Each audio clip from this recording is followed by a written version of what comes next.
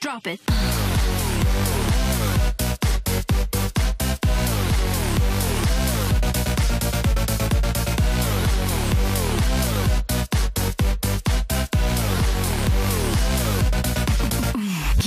So, liebe Leute, am Vierer ist das Pokémon, um das es sich heute hier in dieser Competitive Analyse in Anführungsstrichen geht. Denn wir gehen ja nicht immer kon konkret und richtig explizit drauf ein, so gucken einfach nur, was für Optionen hat man mit dem Pokémon und was wären so Attacken, Movesets und mit was könnte man es denn in ein Team packen. Und Vierer ist zumindest momentan das einzigartige Gift-Feuer-Pokémon aus der wunderschönen Alola-Region.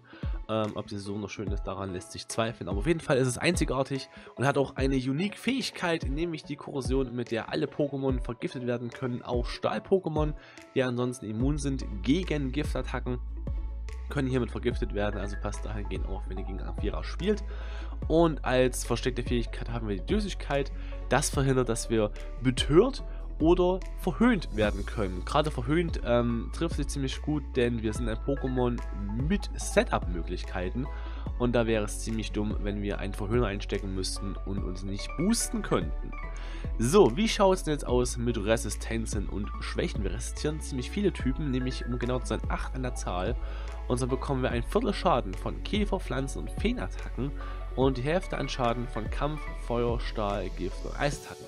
Klingt jetzt ziemlich gut, Warum es das vielleicht nicht ganz so ist, ähm, kommen wir gleich dazu. Wir haben auch Schwächen und zwar ähm, eine doppelte Schwäche gegen Gestein, Wasser und Psychoattacken und eine vierfache Schwäche gegen Bodenmoves. Also Erdbeben, ganz, ganz böse. Wollen wir nicht, Erdbeben wollen wir einfach nicht. Also passt dahingehend sehr, sehr auf, dass ihr da was ähm, im Team habt, was es checken kann und was ihr nicht gerade da ähm, Salessel oder Amphira, wie es auf Deutsch heißt, reinwechseln müsst oder drin lassen müsst. Also sehr, sehr gut aufpassen beim Teambau. Warum selbst die Resistenzen nicht ganz so geil sind, dazu kommen wir jetzt. So, ihr seht auch schon, so cool Amphira vielleicht aussieht, so mittelmäßig sind seine Statuswerte. Also wir haben 68 KP Base, ähm, könnte besser sein, ist aber jetzt auch nicht gerade so mega bad. Dann 64 Angriff interessiert uns absolut nicht. Wir haben nämlich only spezielle Moves drauf auf Vampira. Und wir haben, wie man sieht, gerade mal 60 Verteidigung. Das heißt, selbst unsere resistierten Typen, also Typen, die uns ein Viertel oder die Hälfte Schaden machen, ähm, können uns trotzdem noch richtig böse, böse treffen. Und deswegen ist es an einigen Stellen sehr, sehr schwer, Amphira ins Match zu kriegen. Aber dann sehen wir den Spezialangriff mit 111 und die Initiative mit 117 und sehen, wo eigentlich Amphiras Stärke liegt. Nämlich Amphira ist ein Pokémon, was sehr schnell ist, auch ohne Wahlschall und sehr, sehr viel Schaden austeilen kann mit 111 Spezialangriff. Und wir sehen, dass wir ein ähm, ziemlich guter Sweeper sein könnten, wenn wir denn, oder sein können, wenn wir denn im Spiel sind. Und was haben wir denn dann für Attacken zur Option? Äh, wir haben als Option den Flammenwurf, den Feuersturm natürlich als Feuerstep, Schlammwoge, Matschbombe als Giftstep, Hitzekoller ähm, als einmal, ich mache sehr, viel Schaden-Move, kann man auf jeden Fall mal austesten. Ich würde euch aber immer Flammenwurf und Feuersturm empfehlen.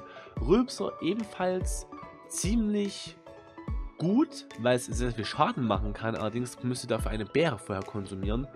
Und bis die Beere triggert, ist es meistens so, dass ihr die Hälfte eurer KP verlieren müsst oder ein Viertel der KP verlieren müsst. Und das ist gerade beim Vierer sehr, sehr schwer. Deswegen nehmt einfach mal Rülpser in Klammern. Wenn es klappt, ist es gut. Wenn nicht, ähm, auch nicht schlimm. Ich würde euch eher Matschbombe und Schlammburger empfehlen hier drauf. Und Hitzewelle, wie immer, ähm, ein Move, der für Doppelkämpfe eher geeignet ist als für Solo-Kämpfe. Von daher lasse ich den noch meistens weg. Also nicht wundern, wenn da mal ein Voll-Pokémon ist, was Hitzewelle könnte und ich lasse es weg. Und deswegen Hitzewelle immer in Klammern für Doppelkämpfe okay, für Solo-Kämpfe eher Feuersturm oder Flammenwurf. Coverage-technisch sieht es bei Amphira sehr, sehr mau aus. Ich habe ja selbst die Kraftreserve mit aufgeführt, weil Kraftreserve eigentlich immer mit dabei ist auf den ganzen Movesets. Und Drachenpuls, ja, ich weiß, Drachenattacken sind keine Coverage-Moves, weil sie nur gegen Drachen effektiv sind. Es tut mir leid, aber das wäre die einzige andere Option, die Amphira noch hätte. Ansonsten sieht es wirklich, wie gesagt, sehr, sehr schlecht aus. Aber dafür haben wir ja noch ein paar Support- und Boost-Moves. Das heißt, ein Slot wäre immer ähm, dafür zu verwenden, Ränkeschmied zu spielen. Wäre die beste Option an für sich, weil somit könnt ihr euren Spezialangriff um zwei Stufen erhöhen. Das heißt, ihr macht noch mehr Schaden. Wenn schnell genug seid ihr alle mal, außer ihr müsst gegen einen Wahlschal-Pokémon kämpfen oder gegen eine, Pri äh, gegen eine Prio-Attacke, Prio-Attacke. Ähm, Toxin, um Pokémon zu vergiften, ganz klar irdische Pokémon zu verbrennen und Verhöhner, wenn ihr als Lead Amphira irgendwo seid, um Tarnsteine zu verhindern, den Tarnsteine oder Stachler oder sowas wollen wir natürlich auch nicht auf dem Feld haben, gerade um noch weniger Schaden zu bekommen. Und da wäre Verhöhner auch nicht schlecht. So, wir gucken uns jetzt mal an, was wir denn aus diesen relativ Mount Coverage Sachen und den ganzen Stats und den ganzen Moves hier für schicke Movesets bauen können. So, in Sachen Movesets haben wir zwei Movesets, weil mehr ist momentan irgendwie nicht so richtig drin. Deswegen haben wir das Toxium oder Pyrium Z Moveset, also mit Z Feuer oder Z Giftstein. Dürftigkeitsfähigkeit, Max Spitzangriff, Max Init 4 Verteidigung, Scheues Wesen, Ränkeschmied zum Boosten, ist logisch. Feuersturm Flammenwurf als Feuerstep, Schlammwoge Matschbombe, Mat Schlammwoge Matschbombe als Giftstep, so rum. Und zum Schluss haben wir noch die Kraft der Pflanze gegen Pokémon wie Sumpex, wie Morlord, wie Gastrodon, wie Pranawarts, hast du nicht gesehen. Und die Kraft der Eis gegen Pokémon wie ähm, Libeltra, wie Trikefalo, allgemein alle Eis-Pokémon, äh, allgemein alle Drachen-Pokémon und Pokémon, die gegen Eis sehr, sehr weak sind. Ähm, ich würde euch eigentlich die Pflanzenkraftreserve eher empfehlen als die Eiskraftreserve, da werdet ihr wahrscheinlich mehr Nutzen davon haben, gerade gegen Wasser-Pokémon auch mit. Und ansonsten im besten Fall Rängeschmied aufsetzen und dann den Gegner sweepen, denn ihr seid sehr, sehr schnell unterwegs und mit Wesen outspeedet ihr auch meistens langsame Pokémon. Wie gesagt, passt auf bei Warschal-Pokémon oder Pokémon, die potenziell den Warschal tragen können. Gegen die wollt ihr nicht kämpfen, aber ansonsten ist Amphira wirklich sehr, sehr gut aufgestellt, was der Speed angeht. Und für wen das immer noch nicht reicht, der kann natürlich Amphira auch mit Warschal spielen. Korrosionsfähigkeit, Max Initiative, Max Spezialangriff, 4 in die Verteidigung, Scheues Wesen, Toxin, hier machen wir von der Korrosion Gebrauch, also falls ihr irgendwie Star-Pokémon habt und keine Ahnung, ihr wollt es vorher noch vergiften oder so, Toxin nutzen, dann haben wir Feuersturm Flammenwurf wieder als Feuerstep, wieder Schlammloge Matschbombe als Giftstep. Und die Kraftreserve Feuer, Pflanze, äh Feuer, die Kraftreserve Pflanze, Eis, Boden wäre noch eine Option gegen, gegen Star-Pokémon wie, wie äh, Heatran, wenn ihr dagegen kämpfen müsst oder wollt oder sollt, wäre natürlich auch eine Option.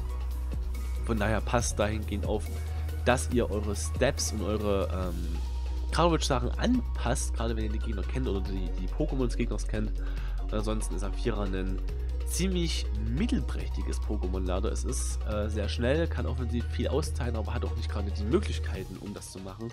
Und wo Amphira steht, oder was man mit Amphira machen kann, besser gesagt, und welche Teampartner sich bei Amphira anbieten, Dazu kommen wir jetzt. So, Amphira hat eine gute Step-Kombination und befindet sich in einem guten Speed-Tier. 117 Base Init ist also wie gesagt nicht schlecht. Step-Kombination mit Feuer und Gift auch nicht so unpraktisch, ähm, gerade gegen Star-Pokémon, gegen Feen-Pokémon, die sehr präsent sind.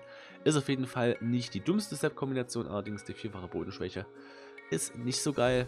Wir haben Zugang zu Rängeschmied, ganz klar, Boost Move, mehr Schaden, das ist natürlich immer sehr, sehr gut und gewollt für uns. Wir entfernen Toxic Spikes, wenn wir aufs Feld kommen, das heißt, wenn der Gegner Giftspitzen gelegt hat und wir bringen auf 4 raus, sind die Giftspitzen weg. Ähm, wir sind ein guter Z-Kristall-Nutzer, davon gibt es ja auch relativ wenige eigentlich, die wirklich den Z-Kristall effektiv nutzen könnten. Und das machen wir mit der Vierer doch schon ziemlich gut.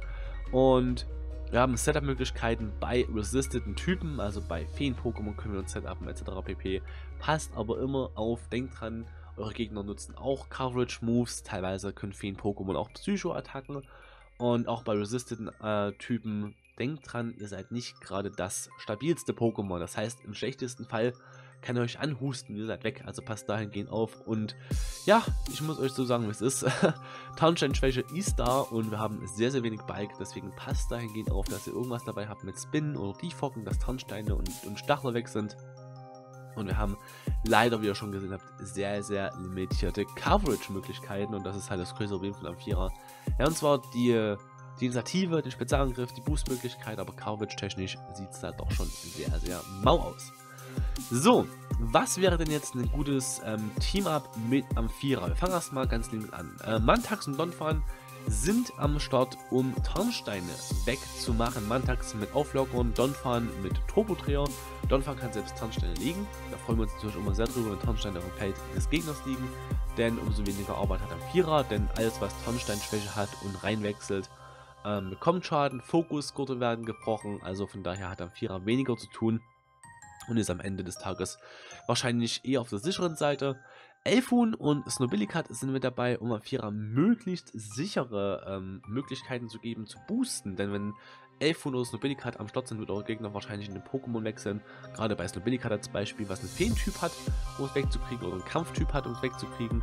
Und da wäre dann Amphira ein ziemlich gutes Pokémon, um reinzuwechseln. Wie gesagt, passt dahingehend bitte auf, dass er nicht gerade in irgendeine schwere Attacke reinwechselt. Und sich zu boosten. Sie geben euch also die Möglichkeiten zum Setup. Rotom Kat ist wieder mit am Start, um Baiki Wasser-Pokémon wegzukriegen und natürlich auch um Defog zu machen, falls ihr es braucht.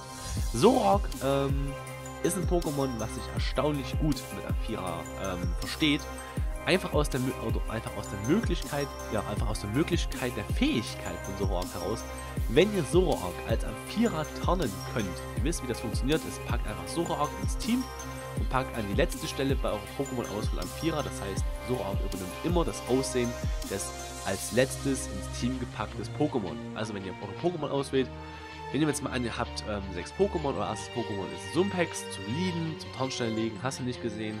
Als zweites kommt Zoroark und danach, ganz zum Schluss, müsst ihr Amphira reinpacken, dann sieht Zoroark, wenn es ins Spiel kommt, aus wie Amphira.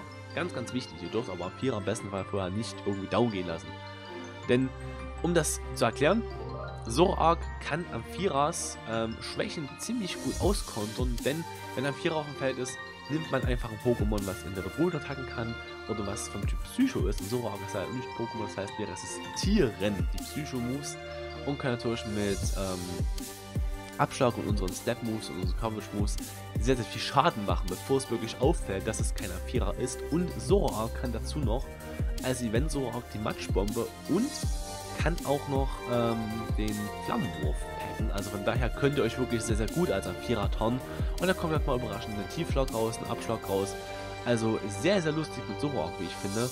Und dazu könnt ihr mit Memento Mori ebenfalls den Gegner ähm, Schwächen und so am Vierer reinholen zum Setup. Also das ist wirklich ein Pokémon, was sich sehr, sehr gut mit Vierer versteht.